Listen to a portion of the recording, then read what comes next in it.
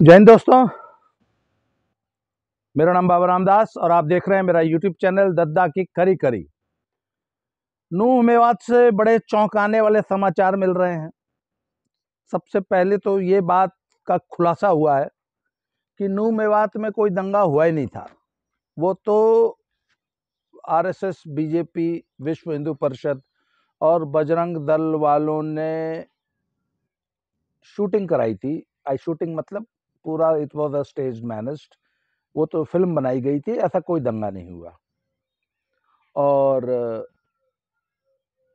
नूह में किसी ने किसी पे पत्थर कोई नहीं बरसाए।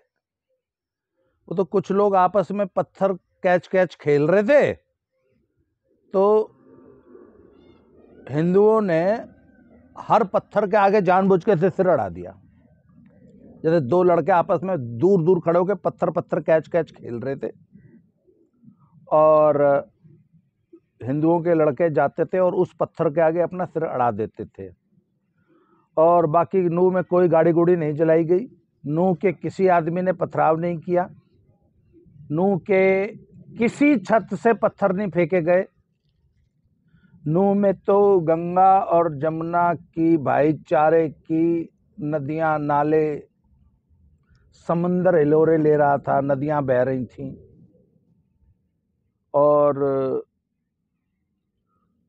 जो गाड़ियाँ जली हैं, वो अपने आप जल गई थी।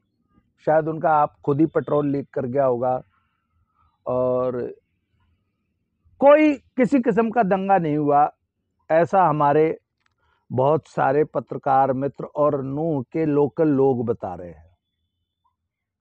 तो लोगों ने पूछा, भैया, ये जो लोग पथराव कर रहे थे और आखिर जो छह लोग मरे? बोले, वो शायद मंगल ग्रह से कुछ लोग आए थे। तो मंगल ग्रह वालों ने अगर हो सकता है कुछ थोड़ा बहुत कर दिया कर दिया। और नू वाले तो इतने शरीफ हैं कि नू वालों ने कुछ नहीं किया। ये लेटेस्ट डेवलपमेंट है इंडियन मीडिया, जो मेन स्ट्रीम मीडिया है, उसकी रिपोर्टिंग यही बता रही है। कि ना जी, यहाँ कोई पत्थर नहीं चला। हम तो जी इतने सालों से बहुत प्यार से रहते आ रहे और हमारे माननीय न्यायाधीशों ने स्वतः संज्ञान लेते हुए जो डिमोलिशन की कार्रवाई दंगाइयों के ऊपर चल रही थी तो दंगाइयों के पक्ष में खड़े होकर हमारे माननीय उच्च न्यायालय ने बुलडोजर पर रोक लगा दी है।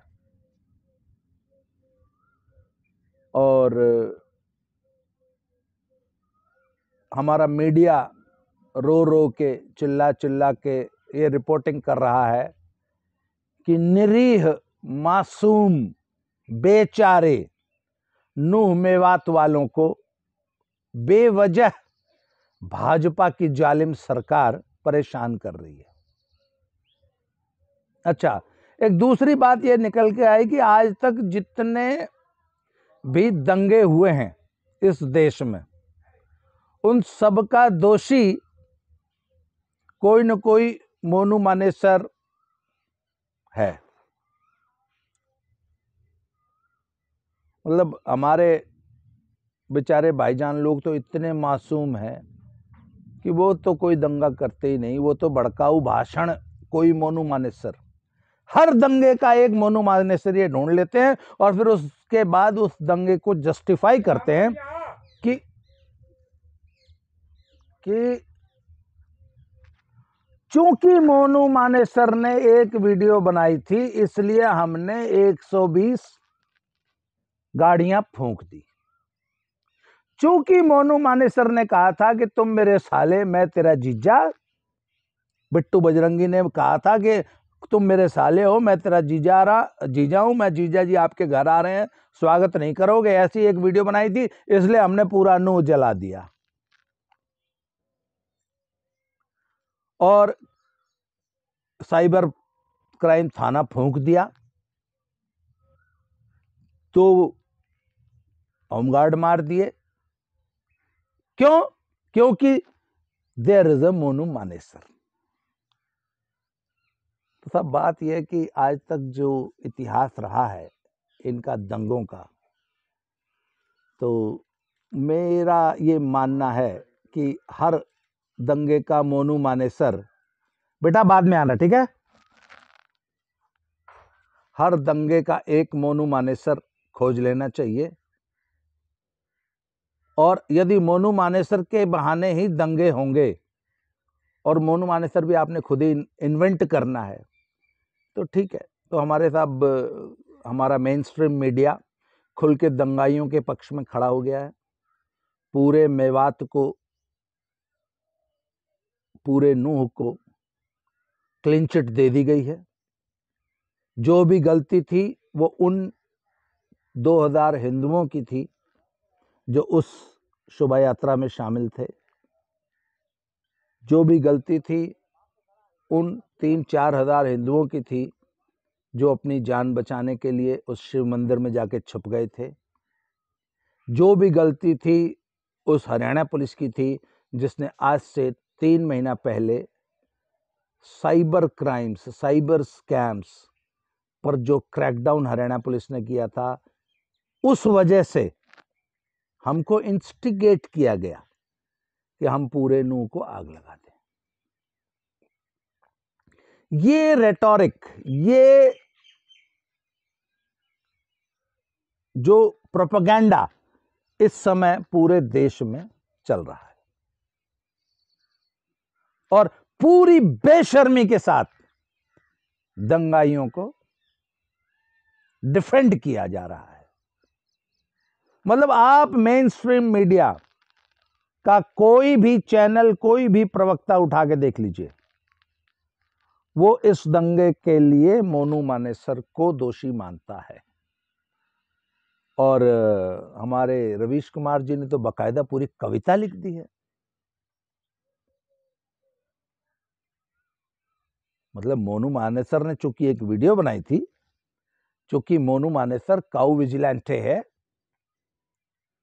अच्छा जबकि मोनू मानेसर की उस दिन गुड़गांव की उस, सॉरी नूह की उस लोकेशन पे मुझे ऐसा बताया गया कि पुलिस इन्वेस्टिगेशन में पाया गया कि वो वहाँ था ही नहीं। और इसके अलावा अब तक की जो इन्वेस्टिगेशन हुई है, अब तक की जो बातें सामने आई हैं कि दंगा पूरी तरह वेल प्लान था, पूरी तरह बाकायदे स्वचालित हथियार मंगाए गए थे। दंगे के रूट पर, पहले से घरों की छतों पर पत्थर मंगा के रखे गए थे। और हर गाँव से 10, 20, 50 लोग बाकायदा बुलाए गए थे। 2000 से ज़्यादा ऐसे वीडियोज़ हैं जिनका विश्लेषण हरियाणा पुलिस कर रही है जिसमें लोगों का आह्वान किया गया था कि उस दिन नूह में आओ। बाकायदा पेट्रोल बम्स बरामद किए गए हैं स्वचालित हथियार बरामद किए गए हैं। ऐसे वीडियोज़ हैं जहाँ नूह के अगल बगल वाली पहाड़ियों से पुलिस बल के ऊपर फायरिंग की गई है और उसकी वीडियोज़ हैं अच्छा, एक और बहुत ज़बरदस्त प्रोपेगेंडा एक नैरेटिव चलाया जा रहा है कि ये देखिए बजरंग दल वाले स्वचालित पुलिस के साथ स्वचालित हथियारों से फायरिंग कर रहे हैं। जबकि फैक्ट यह है कि वो पुलिस फोर्स ही थी और सिविल कपड़ों में पुलिस के साथ काम कर रही थी। वो पुलिस के लोग ही हैं। बकायदा पुलिस ने इसका स्पष्टीकरण जारी किया है। परंतु इस, इसके बावजूद पुलिस फोर्स में सिविल वर्दी में स्वचालित हथियार लिए लोगों को बजरंग दल का कार्यकर्ता बताकर ये प्रूव करने की कोशिश की, की जा रही है कि असल में तो फायरिंग बजरंग दल के लोगों ने की। तो सब बात यह ना कि जब आप इस तरह दंगाइयों के पक्ष में खुल के खड़े हो जाएँगे और दंगा करने वालों को डिफेंड करेंगे बेशर्मी से और उनके दंगे को जस्टिफाई करेंगे कि चूँकि प्रवोक प्रवोक किया गया, इसलिए इतना बड़ा दंगा हो गया। और प्रवोक क्या किया गया कि एक वीडियो बना दी गई जिसमें कि एक लड़का बोल रहा है कि अपने जीजा का स्वागत नहीं करोगे। मतलब एक वीडियो के लिए आपने इतना बड़ा दंगा कर दिया। और उसके बाद पूरा समाज कितनी बेशर्मी से कह रहा है कि ना जी ना, यहाँ तो कोई पत्थर ही नहीं चला। हमने कोई पत्थर नहीं चलाए।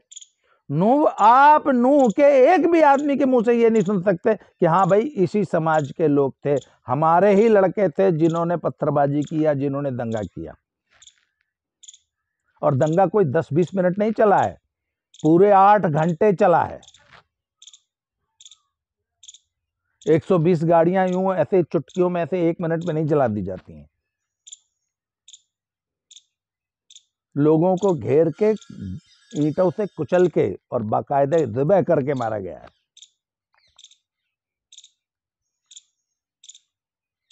तो सर, बात यह कि एक मीडिया का वर्ग है और एक पॉलिटिशियंस का वर्ग है, जो कि खुल के दंगाइयों के पक्ष में खड़ा हो गया। मिलॉट ने स्वतः संज्ञान ले लिया है और मिलॉट का यह मानना है कि ये सिर्फ़ और सिर्फ़ एक वर्ग को प्रताड़ित करने के लिए डिमोलिशन ड्राइव चलाई जा रही है। हो सकता है। पॉसिबल है। और हो सकता है कि पुलिस ने जो कानूनी तरीका है उस तर, पूरे तरीकों को फॉलो न किया गया होगा। परंतु यूपी के अनुभव से हमने जो सीखा है, वो ये है कि आप चाहे जितने रिस्ट्रिक्शंस लगा लीजिए, आप पुलिस और प्रशासन को काम करने से मिलौट रोक नहीं पाएँगे। प्रशासन के पास इतनी असीमित शक्तियाँ होती हैं, इतने तरीके होते हैं, इतने हथकंडे होते हैं कि यदि वो ठान ले कि उसने गुंडा एलिमेंट को और दंगाइयों को सुधारना है मैं किसी एक वर्ग की बात नहीं कर रहा हूँ, मैं दंगाइयों को, दंगाइयों की बात कर रहा हूँ। मैं गुंडे बदमाशों की बात कर रहा हूँ, मैं उन लोगों की बात कर रहा हूँ जो पैरल गवर्नमेंट चलाते हैं। मैं उन लोगों की बात कर रहा हूँ जिन्होंने घेटों में रहते हुए एक मिनी पाकिस्तान क्रिएट कर दिया है, देश में जगह जगह और यदि प्रशासन ठान ले कि इनको ठीक करना है तो कर देगा, कोई मिलॉर्ड नहीं रोक पाएगा। और तब जबकि पूरा शहर ही अवैध तरीके से बसा हुआ है। पूरे शहर, पूरी मतलब मेडिकल कॉलेज के सामने पूरी मार्केट ही अवैध, ज़बरदस्ती सरकारी ज़मीन पर कब्जा करके बनाई गई थी। तो हरियाणा में पहली बार खट्टर सरकार ने थोड़ी सी स्पाइन शो की है कि हाँ हम केचुए नहीं हैं, हमारे अंदर भी रीढ़ की हड्डी है। और अब सवाल ये पैदा होता है कि सर ये, इसकी पूरे, इस दंगे की और इस पूरी कार्रवाई की टाइमिंग को लेके भी ना बहुत सारे सवाल उठ रहे हैं। और समाज के कुछ वर्गों की जो प्रतिक्रिया सामने आई है, उससे एक बात समझ में आ गई है कि कुछ वर्गों में कंफ्यूजन है कि दंगाइयों का समर्थन करें या पीड़ितों का समर्थन करें। जिन्होंने दंगा किया, उसको प्रोटेक्ट करें या जो दंगे में पीड़ित थे, उसको, उसका पक्ष लें। तो यहाँ पे सीधे सीधे एक लकीर खींच दी गई है कि एक तरफ़ कांग्रेस समर्थक लोग हैं जो खुल के दंगाइयों के पक्ष में खड़े हो गए हैं और एक तरफ़ बाकी समाज है जो दंगाइयों के विरोध में है। और जो जब तक जाँच हुई है, उसमें ऐसा बताया गया कि दंगा बहुत कायदे से प्लान करके किया गया है। और आगे आगे जैसे जाँच होगी, और बातें स्पष्ट होती जाएँगी। बहुत सारी बातें अभी चूँकि अभी अंडर प्रोसेस हैं, इसलिए उन सब का खुलासा करना उचित नहीं है। परंतु फ़िलहाल फौरी तौर पे बेशक बुलडोज़र रुक गए हैं, पर बहुत दिन रुकेंगे नहीं। बुलडोज़र दर जिस शहर में एक बार चलना शुरू हो गया तो मिलॉर्ड कब तक बचाओगे? जब पूरा शहर ही अवैध है और पूरा शहर ही सरकारी ज़मीन पे कब्जा करके बना है और पूरा शहर ही हाथों में पत्थर लिए घूम रहा है। तो मिलॉर्ड, कब तक बचाओगे? हम भी देखेंगे कब तक बचाएँगे। तो जैसे ही नई डेवलपमेंट होती है नू की, हम इस पर चर्चा करेंगे। अगले वीडियो में फिर से मिलते हैं।